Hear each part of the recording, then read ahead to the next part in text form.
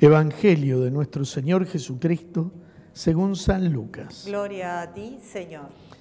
Jesús tomó a Pedro, Juan y Santiago y subió a la montaña para orar. Mientras oraba, su rostro cambió de aspecto y sus vestiduras se volvieron de una blancura deslumbrante. Y dos hombres conversaban con él. Eran Moisés y Elías, que aparecían revestidos de gloria y hablaban de la partida de Jesús que iba a cumplirse en Jerusalén. Pedro y sus compañeros tenían mucho sueño, pero permanecieron despiertos y vieron la gloria de Jesús y a los dos hombres que estaban con él. Mientras estos se alejaban, Pedro dijo a Jesús, Maestro, qué bien estamos aquí. Hagamos tres carpas, una para ti, otra para Moisés y otra para Elías. Él no sabía lo que decía. Mientras hablaba, una nube los cubrió con su sombra y al entrar en ella, los discípulos se llenaron de temor.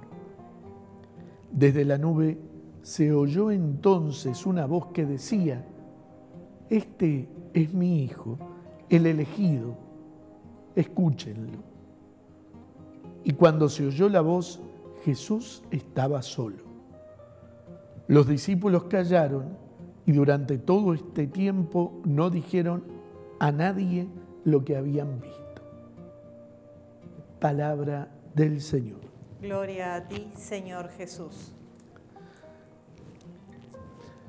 Tenemos como cristianos el privilegio de vivir este tiempo de cuaresma, 40 días para meditar en la palabra de Dios, para profundizar en ese contacto íntimo con Él, como Jesús en el desierto, como escuchábamos el domingo pasado, empujados por el Espíritu a esos 40 días de ayuno, de estar en contacto con Dios a solas y también con la soledad propia, desde luego, de cada uno, en este caso del propio Señor, recibiendo allí las tentaciones del demonio.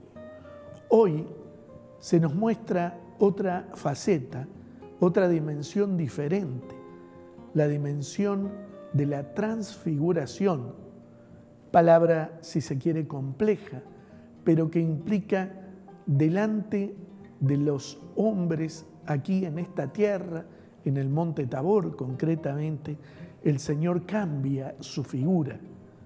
Y allí se muestra con ese aspecto glorioso con ese aspecto triunfante, donde su esplendor es de tal magnitud que hace que Pedro sienta esa, podríamos decir, esa intensidad y ese deseo, por otra parte, de haber visto al Señor transfigurado, de permanecer allí para siempre.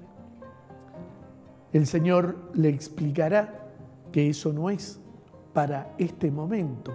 Eso es lo que vendrá, pero antes se tendrá que vivir la pasión, una pasión cruenta, ruda, ¿eh?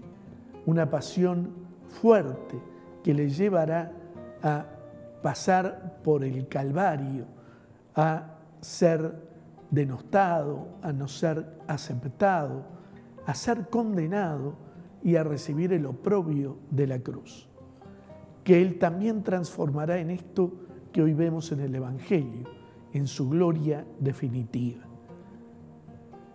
El camino de Pedro en algún momento quería ser dejar de lado todo ese derrotero que hay que transcurrir para quedarse en esa gloria, la cual se alcanzará, como sabemos, a través de la cruz. Por eso en este tiempo de cuaresma, Qué bueno que nosotros también con el Señor asumamos la cruz nuestra de cada día, aquella que nos lleve a renunciar a lo que nos aparta del camino de Dios para volver nuestros pasos hacia Él.